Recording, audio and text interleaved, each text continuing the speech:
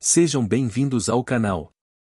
O assunto de hoje é sobre Relembrando no Túnel do Tempo.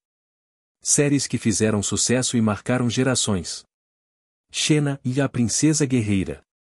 É uma série de televisão de fantasia e aventura que foi ao ar entre 1995 e 2001, Criada por John Sululin e Robert Tapert, a série é um spin-off de O Hércules, da Jornada, centrando-se na personagem Xena, que foi introduzida como uma antagonista em alguns episódios de O Hércules.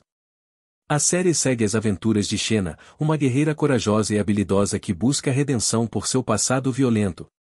Inicialmente uma conquistadora cruel e impiedosa, Xena muda seu caminho após um encontro com Hércules e decide usar suas habilidades para o bem.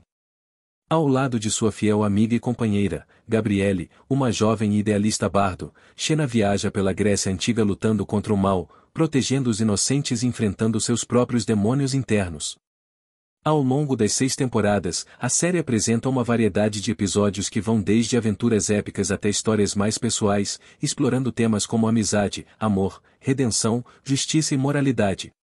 Xena e Gabriele encontram uma variedade de personagens, incluindo deuses e deusas da mitologia grega, outros guerreiros, vilões formidáveis e aliados improváveis. Além das habilidades de combate de Xena, que incluem o manejo habilidoso da espada e outras armas, a série também destaca o intelecto de Gabriele, sua habilidade como diplomata e sua crescente proficiência em combate ao longo da série. A dinâmica entre as duas personagens principais é central para a série, com sua amizade sendo testada por desafios e conflitos, mas também fortalecida pelo apoio mútuo e pela lealdade inabalável.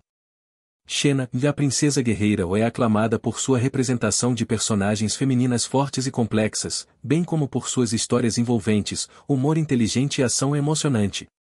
A série conquistou uma base de fãs dedicada e teve um impacto duradouro na cultura popular, tornando-se um ícone da televisão dos anos 90 e inspirando muitas outras produções subsequentes centradas em heroínas. Espero que tenham gostado desta grande série que atraiu multidões de telespectador na metade para o final dos anos 90. Comentem, dê likes e se inscrevam no canal.